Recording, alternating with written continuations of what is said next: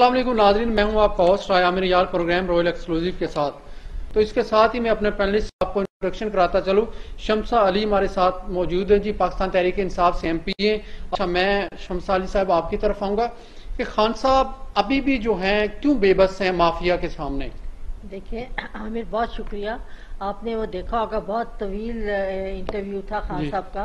और एक एक बात का उन्होंने पूरा भरपूर तरीके से सही और सच जवाब दिया। देखिए बात यह है कि जो सियासत है ना हम जो पीटीआई में हम लोग तो ये समझते हैं कि सियासत एक इबादत है। जी। सियासत की मुनाफकत नहीं है। कि आपके जी ये हो जाएगा या आप झूठे सच्चे आके फिगर्स बता दें लोगों को और गलत बातें कर दें और वक्ती तौर पे एक रिलीफ दे दें और फिर इतना उस पर कर्जा लिया हुआ हो कि वो रिलीफ जो जब कुछ सालों के बाद वो चौगने हो के तो अवाम पे भी और पाकिस्तान पे भी आके पड़े।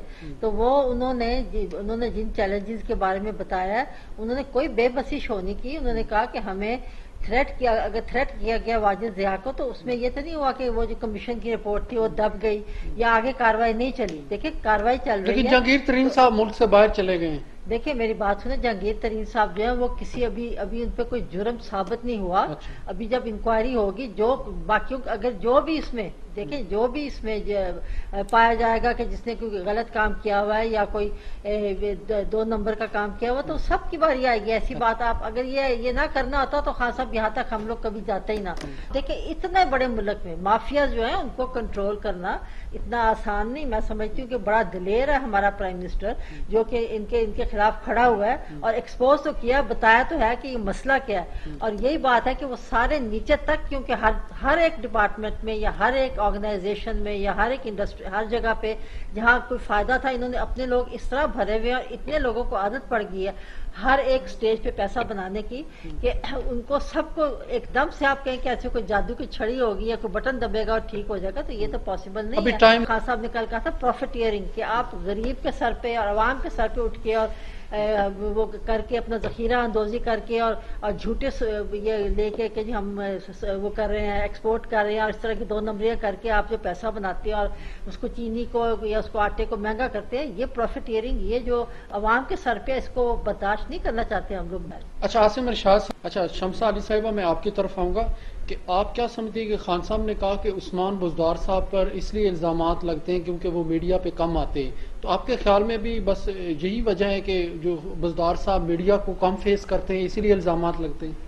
अ, नहीं देखें आप देखें ना कि ये जो है पंजाब ये जो तख्ते लाहौर हम्म, जो इसको खिताब मिला था पंजाब को तो यहाँ पे तो साला साला साला साल से लोग अब भूल ही गए थे कि और कोई आएगा।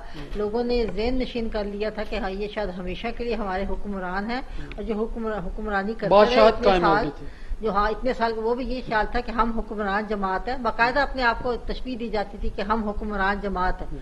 हम हुक्मरान हैं। तो वो इसलिए करके इतना ज़्यादा लोगों के जहन नशीन ये बात हो गई थी। मैं आपको बताती हूँ कि जब भी मैं अभी एम पी ए बनी हूँ और हम जब गए हैं वहाँ पे असेंबली में और हर जगह तो आपको नज़र आता था कि लोगों का ये ख्याल था कि ये जो दो चार महीने हैं, उसके बाद दोबारा वही सब कुछ हो जाएगा जो पहले था। तो ये इतना इस हालात मतलब आज गवर्नमेंट गई कल गवर्नमेंट गई लोग तो यही हाँ जी अभी भी अभी तक आप देख लें अच्छा। वही खान साहब ने कहा ना कि अभी जिस दिन पहले दिन अभी शुरू हुआ तो उन्होंने कहना शुरू कर दिया था कि आज गई कल गई अभी मेहमान है, दो दिन पहले हुई दिन तो नालायक है जी नालायक है जी इनकम्पिटेंट है। जो यहाँ पैंतीस साल रह के गए जो आपको एफएटीएफ की ग्रे लिस्ट में डलवा के गए। वो यानी कि अगर आप अच्छे होते तो आप तो ऊपर जाते ना। वो लायक तो हैं। वो वो हाँ, और जो वो चोर डाकू लुटेरे थे वो मैं तो हर एक को ये कहती मैंने कहा ये कह रहे हैं ना कि जी ए, बदला है पंजाब मैं कह, मैं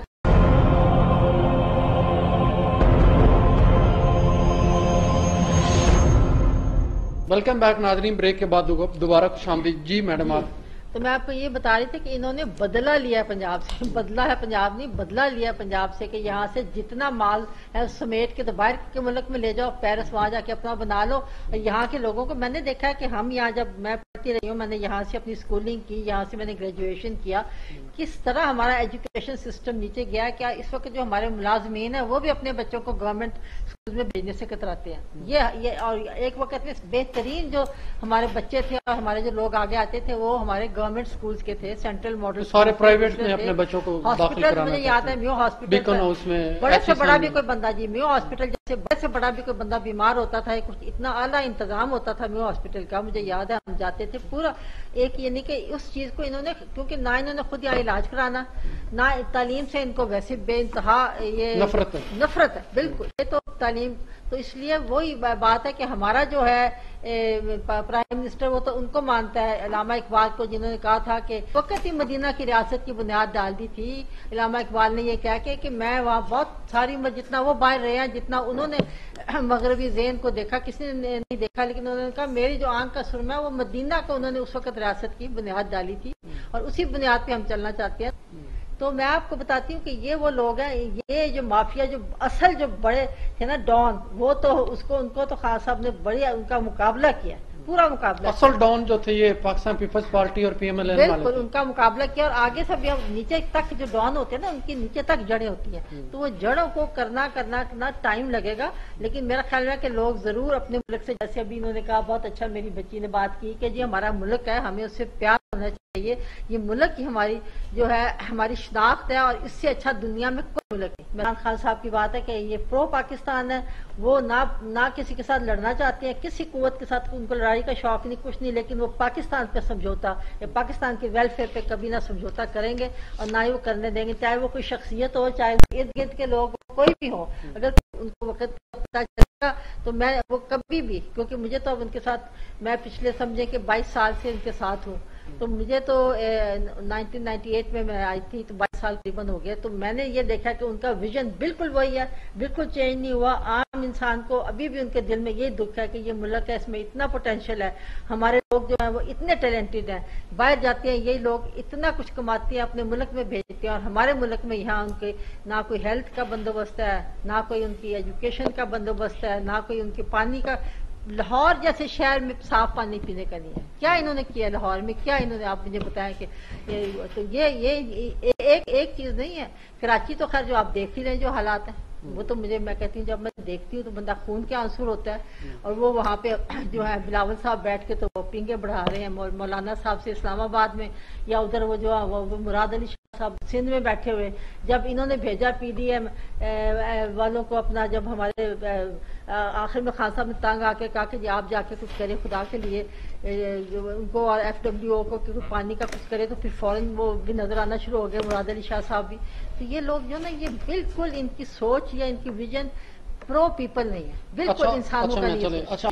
गरीबों के लिए जो आम शख्स है इस मुल्क का, गरीब है, उनके लिए हुकूमत पाकिस्तान ने क्या किया? और दूसरा जो ताजरों के मसाइल है, वो अभी तक जू के तू है, उस हवाले से हुकूमत ने क्या किया? बिल्कुल जी, एक तो ये मैं, इन्होंने बात की थी उसकी, अपना कोरोना वायरस की, कोविड की और फंड्स की। आप देखें कि दुनिया इस वक्त जो जिस तरीके से खान साहब ने और उनकी हुकूमत ने अल्लाह ताला की और उसका शुक्राना अदा करके कहती हूँ कि हमने जो काम किया ये आपके लिए मैं समझती हूँ कि हमें हमें तो अपने मुल्क पे इस बात पे अल्लाह का शुक्र करना चाहिए नाज होना चाहिए कि हमारे हुकूमत ने और हमारे लोगों ने। मिल के किस तरह से ये वो मुल्क है बीमारी जो बड़े बड़ी जो हुकूमतें हैं वो उसके आगे बिल्कुल बेबस नज़र आई और हमने ये जिस तरह से इसको हमने कर किया जो उस वक्त एहसास कैश प्रोग्राम मैं मुझे मालूम है कि नारोवाल के लोग, या भावलपुर के लोग बहुत जो गुर्बत में थे, किस तरह की और ज़्यादातर खातन को, वो पैसे जो मिले उनके लिए, वो कितनी बड़ी बात थी। अब ये कफालत प्रोग्राम है।